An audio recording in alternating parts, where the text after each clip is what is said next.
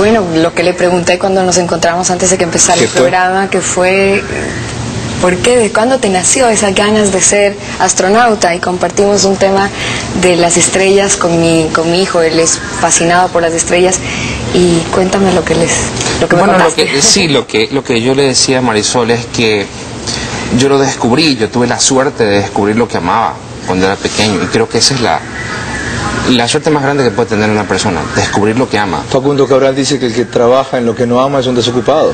Sí, así es. No trabaja no trabaja. El que trabaja en lo que no ama, trabaja. Bien dicho, ese sí. ¿Y? ¿Y cómo fue ese descubrimiento? ¿Cuando jugabas con juguetes? ¿Cuando leíste alguna revista? cuando, veías las estrellas, Cuando vi las estrellas en la casa de mi mamá. Tenía siete años y, y, yo decía, ¿qué hago aquí? Tengo que estar allá arriba. Muy bien. María Cristina Kronfle, que nos ha estado escuchando desde Montecristi y de paso, de, porque no estamos al aire mientras grabamos el programa, María Cristina solo puede seguir el audio del programa y, no el video, pero con fidelidad he escuchado la conversación. ¿Qué reflexiones te motivan el logro de este hombre que es astronauta ecuatoriano sin que tengamos aquí satélites de estaciones espaciales y mucho menos cohetes para lanzar?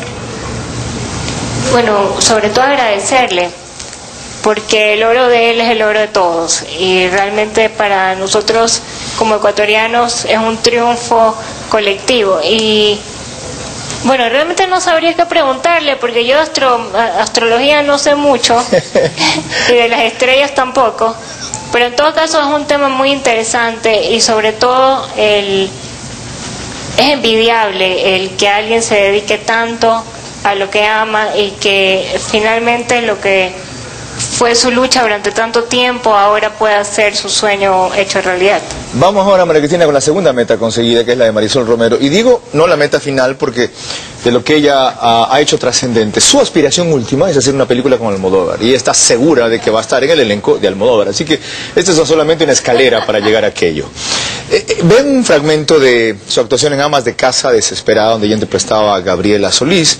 Cuando sale, entiendo que es con su marido, que es Juan Carlos Salazar, que es un conocido aquí porque trabajó en Ecuavisa, es, peruano. Marisol también hizo sus primeros pininos como actriz en varias héroes memorables de Ecuavisa, pero aquí, eh, no solo por su actuación, sino por la producción y el entorno, no solo que deslumbra, sino que no desentona. A esto me refiero. Gabriela Solís, nuestra amiga ecuatoriana, también pasó a dar el pésame a mi familia. Trajo unas empanadas con. Unos años atrás, Gabriela había sido una... Perdón, no queremos que piensen que no somos felices, ¿no? Entre las mil y un preguntas que suscita la actuación de Marisol, a mí la primera que se me viene, Marisol, es ¿cómo hiciste para que no te aplasten las otras actrices con sus antecedentes, su trayectoria, su carisma, su imagen, y el hecho de que no conocías a ninguna, Rudy Rodríguez, Lorena Meritano, por ejemplo? Con humildad. Con humildad llegué eh, asumiendo de dónde venía y cuáles eran mis condiciones, eh, y me encontré de entrada, no tuve que descubrirlo, me encontré con seres humanos maravillosos que ya habían pasado esa sensación de estrellas de los 25 años, de los 20 años, ya eran actrices, son actrices consolidadas con su nombre, con su trayectoria y no tenían nada que demostrarle a nadie. Son además divas, ellas. Las divas son seres humanos maravillosos, son capaces. Bueno, ellas son.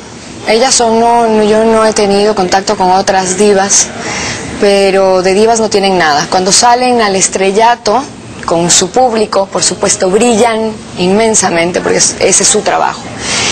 Pero son seres humanos más humanos que, que cualquier otra persona. Son tan sensibles, son tan cariñosas, tuve una suerte inmensa de poder compartir eso con ella. Entonces, en el momento en que empecé a trabajar con ellas, tu actitud no sé, fue yo llegué abierta, yo llegué y le dije, mira, ¿qué has hecho? ¿De dónde vienes? Les conté mi experiencia, mi vida.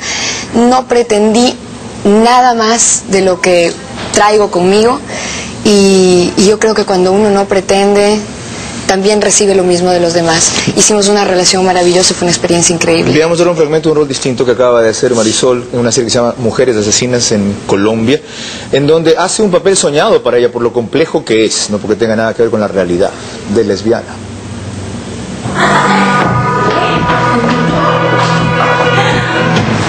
¡Wow! ¡Qué lindo! Qué linda tu casa, tan linda como tú. Hoy ha sido mi noche de suerte. Porque te conocí. ¿Quieres algo? Claro que quiero algo. De tomar. Ah, de tomar. Whisky. Champaña. Tú quieres seguir la rumba, ¿no? ¿Quién se iba a imaginar eso de Blanquita? Es que las sorpresas que nos da la vida, mi capitán. Por eso yo consideré mi labor cristiana de orientarlas para que ayudaran a encontrarse en el camino del Señor. ¿Y usted las conocía hacía mucho tiempo? No, en realidad no. Hace poco que vivían acá. Pero le aseguro que era de muy buena familia. Blanquita. La mamá, una señora tan bonita, tan elegante. Ay, pero pobrecita. Debía sufrir mucho con el problema de la hija. Es que, es que eso es como tenerla enferma, ¿o no? Ahora, ¿qué le provoca preguntar al astronauta, a la actriz, tras esas escenas que ha visto? Bueno, eh, siempre me ha llamado la atención acerca de los, de los actores y las actrices, esa, esa capacidad de- que tienen para poder...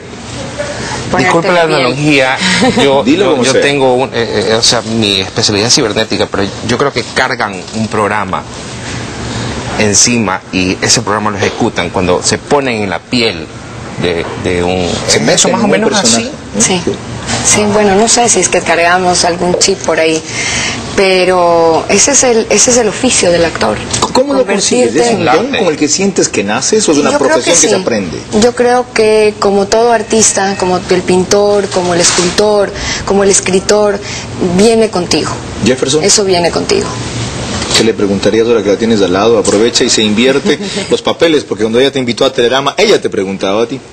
Sí, sobre todo el tema, nosotros vivimos en una sociedad que aún tiene muchos prejuicios, muchas limitantes. Eh, ¿Cómo puedes tener una visión mucho más clara y mucho más amplia sin evitar que esos prejuicios en algún momento te puedan incidir de una forma negativa en tu vida?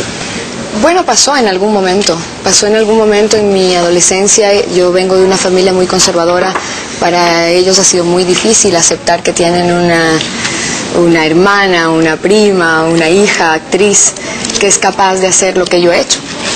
Eh, nunca me dejé llevar por los prejuicios de la sociedad, nunca, nunca quise ser el borrego que seguía al rebaño, nunca. Y pues sí, fue duro, hay un precio que, que pagar, pero lo pagué feliz y hoy por hoy estoy cosechando ese precio.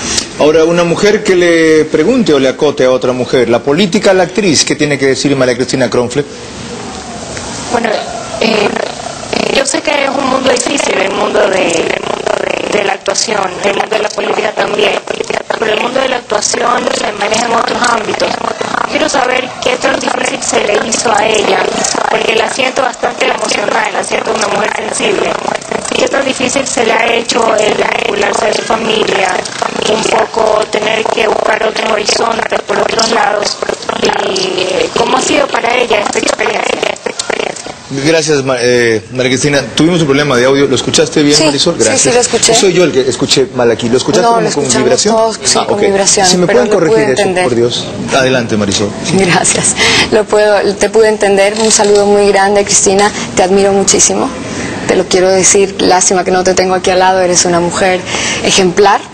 Y sí, yo creo que como todos los que hemos tratado de llegar a nuestras metas, que, que a veces tenemos que ir venciendo obstáculos, ha sido difícil, ha sido duro, pero ha sido más grande esas ganas de lograr lo que, lo que soñé siempre y lo que sigo soñando. Yo no voy a parar de soñar, porque además eso es parte de ser actor. Siempre quieres algo más, quieres más difícil, quieres llegar más lejos, quieres eh, cosechar más triunfos. Y siempre sé que van a haber cosas que van a ser sacrificadas por lo que yo quiero lograr. Así que asumo simplemente esos sacrificios. eh, agradezco todo lo que me ha llegado hasta el día de hoy y pues lo que no llegue no, no tiene que ser nada más. Cuando prosigamos al volver, las metas logradas de este año por Jefferson Pérez y María Cristina Kronfle. Y después, ¿por qué consideran ellos que el país no tiene los mismos triunfos que como ciudadanos han logrado en sus carreras individuales? Estamos con Cero Tolerancia en el último programa del año analizando cuatro ecuatorianos que lograron sus metas.